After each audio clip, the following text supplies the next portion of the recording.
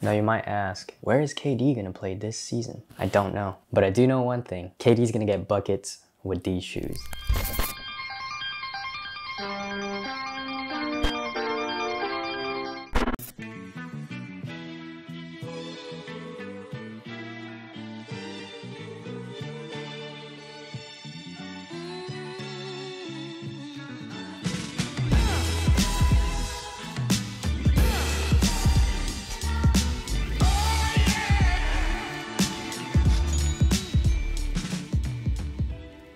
What's up everyone? Welcome to the WearTesters channel.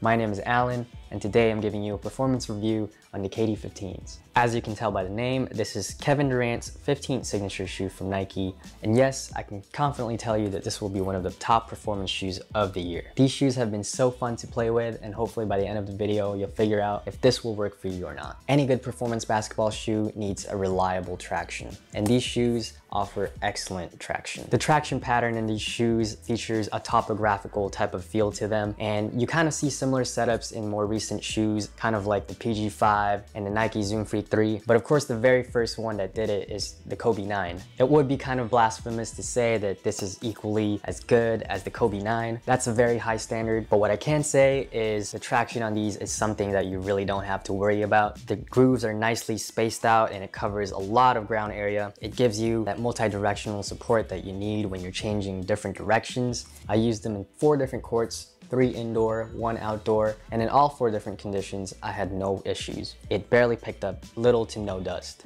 This specific pair of shoes that I received from overseas features a solid XDR outsole. The XDR outsole is marketed to be a little more durable and also catered for outdoor use, but for me, whether I use it indoors or outdoors, I found the bite to be the same. It performed excellently in both conditions. I think you'll have no problems with the tractions for these shoes. Moving on to what I think is the best part about the shoe that is of course the cushion. Just like last year's model, it carries over a similar cushion setup. It utilizes a full-length Zoom Strobel unit and they combine that with the Cushlon midsole again. And with that combination, you get a nice and comfortable ride with these shoes. Having said that, I do feel like the cushion setup in these shoes has a little bit of a different feel compared to last year's model. The energy return with these shoes is a little different. I feel like it's a little springier. Instead of a pillowy and cushy feel that you got from the 14 this cushion setup offers a firmer and a springier energy return. Personally, I felt like when I was going for rebound or if I was changing directions, once my foot landed on the ground, I felt like I could spring back up right away, whether that be making a move to start a fast break or to go back up for a putback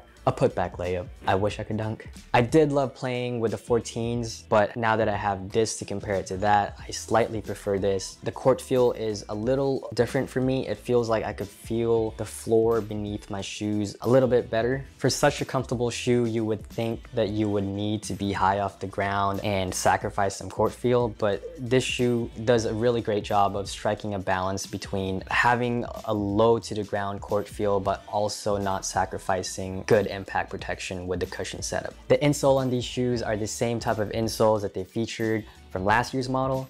They sort of feel cheap at first, but trust me, as you play more and more with it, it really does mold to your feet. The ride on these shoes and the comfort of these shoes just improves the more you play with it. Just like the 14s, this shoe also has a shank plate underneath, but a key difference is that the shank plate in this version is placed a little bit lower compared to last year's. So the shank plate being bottom loaded this time probably is a factor to why the cushion setup feels a little bit different. Again, the shank plate is there so that it prevents the shoe from overfolding and consequently that protects you from overextending your arch. The KD15s are now essentially a low top shoe compared to the mid tops from last year. A lower ankle collar just provides a little more flexibility and mobility for that ankle. If your playstyle is a little more shifty and you like to change direction, I would like to think that you would prefer more of a low top compared to a mid top. That's not to say that a mid top won't work for guards and a low top won't work for bigger players. Last year's model had that feel where like it hugs your ankle a little more. Just because they eliminated that, it doesn't mean it's any less supportive. All the elements of this shoe work in conjunction to give you enough support. It definitely did that for me. Instead of the one piece Velcro strap that they had from last year, the shoe now features these two plastic wings that you can see on both sides of the shoe.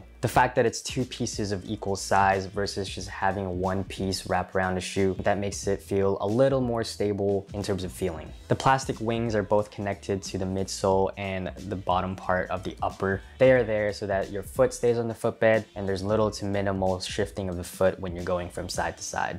If you get the correct size for your feet, the shoe's heel counter right here should definitely work well for you. Let that Cushlon midsole break in just a little bit and your foot should stay locked in and there should be no heel slippage for you. Let's talk about heel slippage. I will offer you the solution right away. I think you just need to get the right size. I have regular feet, but when I play competitively, I usually wear ankle braces. I use these Zamst ankle braces. Because I wear ankle braces, I personally prefer going up half a size more recently. When I was first testing these shoes, I tried them without my ankle braces. And since they were half a size up my true size, I did notice a little bit of heel slippage when I was playing. It felt a little roomy on this side. But when I tried on these shoes the way I usually wear all my other shoes, I put on my ankle braces, it just fit perfectly. If you wear ankle braces or if you have wide feet, you may need to go up half a size, but for everyone else, you need to get true to size. The materials on this shoe are not anything fancier than last year's model, but it does feel a little more malleable and broken in, especially in the forefoot area. But as you move to the back of the shoe, it becomes stiffer. So even though the materials are thinner and softer this time around, it still provides good enough support for you. Ventilation in these aren't the most amazing thing about it, but they do a good enough job of keeping my feet cool. And if you compare it to the KD14s, it's definitely a lot more breathable than that. Before I give you my final thoughts on the KD15s, we thought that it'd be valuable for you if you could gain some perspective from another fellow wear tester. And so take it away, Jalik. What's up, y'all? Jalik here. Before I give my thoughts on the Nike KD15, let me please give a warm welcome to Allen.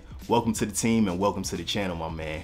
Super excited to have you here. Also grateful that you allowed me to be a part of your first video here on the channel. There's three things in particular that stand out to me in the Nike KD15. One being the traction, also the cushion, and then the support. So the colorway I picked up does use a translucent rubber outsole. It's also non-XDR, so I would not recommend playing in these outdoors. But as far as indoor play, the traction has been amazing in my opinion. I did need to wipe once when it started picking up some dust in the initial shoot around, but from that one wipe and the point where I upped the ante and started running some real games in these, I haven't had to wipe since the traction has been money. As far as the cushion goes, of course it is a very similar setup as the KD14. In my opinion, it feels very much like the KD14. However, it does sit a little bit lower and it does have a little bit more stability to it with it being a firmer Cushlon foam. I feel like they did a great job making this a little bit more minimal than the 14, but also not sacrificing support in some cases maybe even adding support. And I know some people have complained about the heel slip in these, but for me it hasn't been an issue whatsoever. So what I would recommend if you are worried about that is one,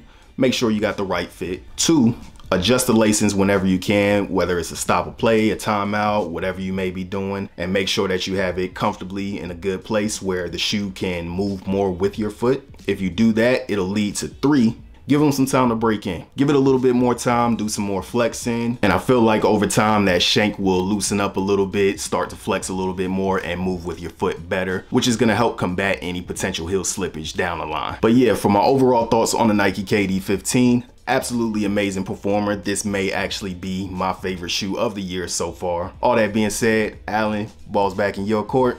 Leak, out.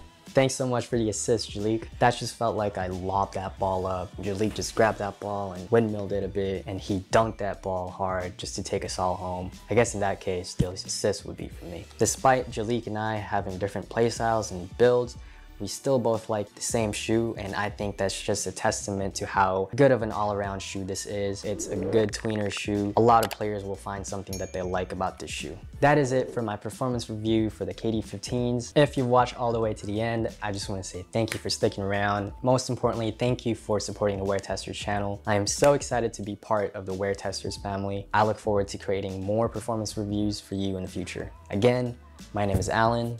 Thank you so much. See you in the next one.